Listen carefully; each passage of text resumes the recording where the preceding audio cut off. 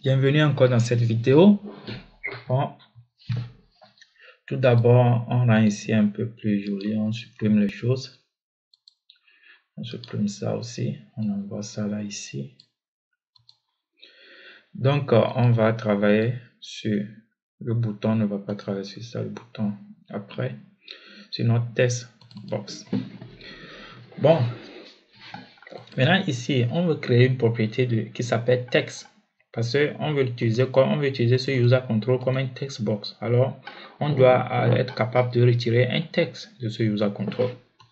Alors, on va utiliser une propriété dépendante. Par exemple, si j'écris sur ce text box, directement sur le text box, j'ai accès à un texte, mais pas sur le user control. J'ai accès à un texte et je peux lui dire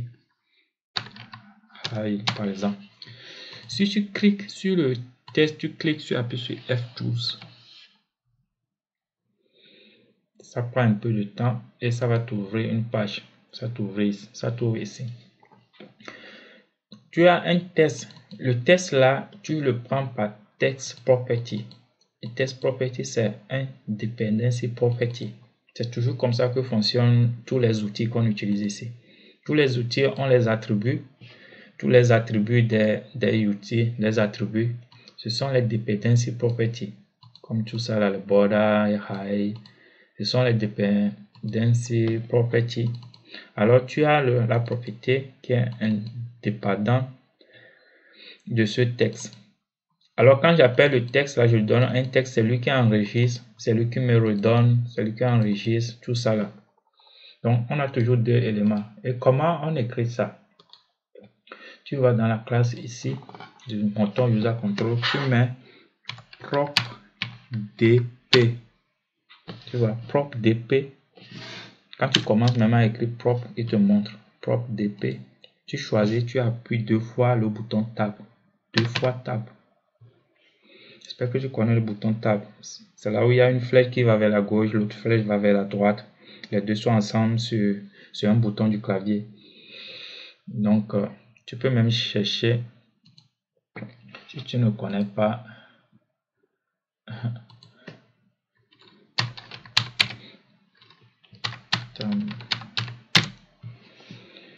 le bouton tab, tu peux chercher comme ça. Tu vois, c'est ça. C'est tab, ça. Le bouton là, c'est ton clavier. Alors, ce qu'on appelle tab. Alors, tu appuies sur ça deux fois. Et ça, ça te copie tout ça là. Alors, tu écris propre dp ça te montre, appuies deux fois le bouton Tab. Et tu restes comme ça, lui-même, il marque le premier ici. Il te dit que, il te demande euh, le type de ce qu'on veut. On veut un texte. Un texte, c'est de type string. Un texte, c'est de type string. Alors, tu vois, il a marqué ici en rouge. J'espère que tu vois ça. Il a marqué ici rouge, ici rouge. Lorsque je vais appuyer une fois tab, il va partir, il va venir ici et il va changer les tubes ici. Maintenant, tu appuies, quand tu as fini d'écrire, tu, tu appuies tab, tu vois, il a changé mes tubes ici. Il m'a dit que, ok, ton dependency property c'est de tube string. Ok, il a changé automatiquement. Maintenant, il me dit que si je change aussi ici, il va changer ici, il va changer ici, il va changer tout ça là. Tu vois comment c'est bon visuel sur le 19 et 22. Donc, comment on va l'appeler? On va l'appeler texte. On l'appelle texte. Et quand je vais appuyer encore une fois tab, il va changer tout ça là. Texte. Tu vois? Il a changé text property. Text property, même écrit un text property. Maintenant, il me demande le type à une classe. Notre classe ici, c'est notre user, c'est textbox. Ce sont les choses que toi-même tu vas ajouter ici. Et ici, il me demande, ici, c'est quand tu quand tu viens ici, le registre, le nom, property type, c'est de string et le nom c'est texte qui est en haut. Le nom là c'est texte, le nom en haut. C'est pourquoi des fois, je mets ici name of. Parce que comme ça, lorsque tu vas changer après ce nom, lui aussi se change automatiquement. Je mets name name of le nom de ce, tu vois, il a marqué ça automatiquement. Alors le registre, je peux mettre comme ça. Le registre a le nom qui est le premier en haut. Deuxième ligne, le tube, c'est string. Auna, c'est notre, le nom de notre classe ici. Auna, c'est le nom de notre classe. Le, le nom qui est ici, le nom de l'élément de top property. Le tube, c'est ici, c'est le tube string. Auna type, le nom de notre classe, c'est C textbox. Et après, metadata, ça c'est le, test par défaut. Souvent ici, c'est par défaut. Par défaut, s'il n'y a pas un test dans le test box, alors sa valeur c'est string empty. Tu peux mettre comme ça un test vide ou bien je préfère écrire string empty. Par défaut, le test le test box va toujours prendre ce, euh, sera toujours vide quoi. Quand j'avais appelé le texte, ça sera vide. Alors c'est comme ça qu'on déclare. Alors tout ça là c'est fini ça. Hein. Ici moi je préfère toujours le mettre privé parce que ça c'est pas seulement ici à l'intérieur ici.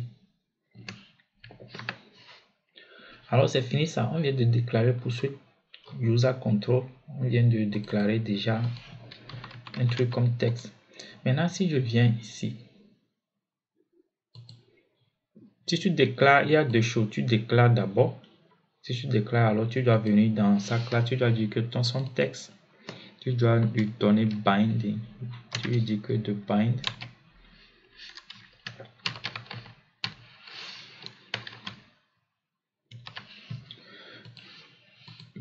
Test de element name le nom de notre euh, user control ici on doit lui donner un nom ah, on va lui donner un nom name. Le nom route. Le nom qui est le route ou bien le parent. Tu peux nommer comme tu veux. Donc, prends le texte. Prends un truc qui s'appelle test de notre user control. Alors, il va aller dans notre route. Le route de le route, c'est notre UC, c'est notre user control C'est quoi le nom de notre user control là? C'est C box. Alors, il vient ici, il prend texte. Alors, c'est comme ça que ça fonctionne. Alors, il va toujours prendre le texte de notre user control. Ça veut dire que si je pars à l'extérieur, je te montre maintenant comment les choses là fonctionnent ici. Pourquoi on a mis ça comme ça, get et set. Si je pars maintenant à l'extérieur ici, et que je donne un nom à mon user control, il faut toujours savoir que le truc là c'est un user control, c'est pas un test box. Alors si je lui donne un nom, xname, si je lui donne un nom, il faut souvent quand tu utilises le composant, prendre le nom de la partie de xname. Le nom, je peux dire que c'est my text box. Maintenant, je vais dans le code. Je vais dans le code. Je peux maintenant créer une variable var texte. Je peux maintenant dire point et j'ai texte.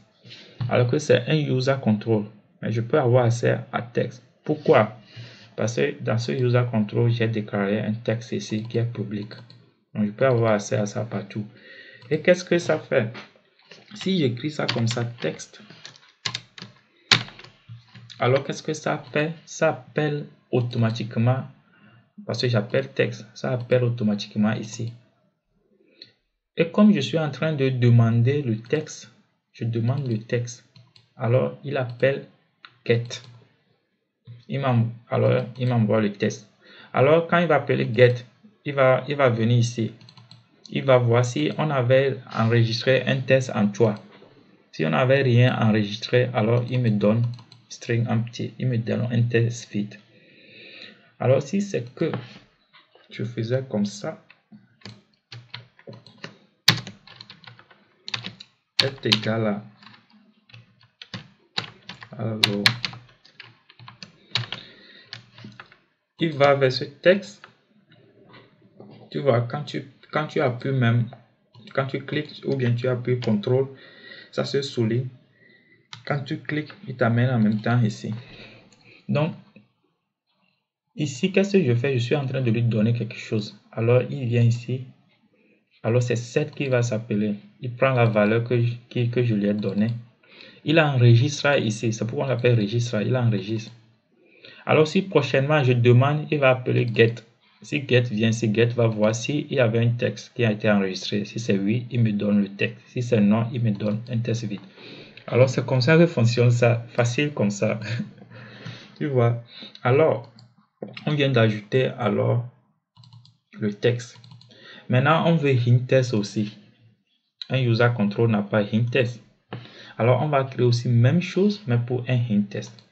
Alors, comme d'habitude, je peux, ça c'est, souvent je mets en haut que ça c'est pour le test property. Maintenant, on a hint text property. Hint text property. Alors, comme d'habitude, qu'est-ce qu'on fait? Propre. Ou bien, on va continuer ça dans la prochaine vidéo. On va continuer les autres dans la prochaine vidéo. À tout à l'heure.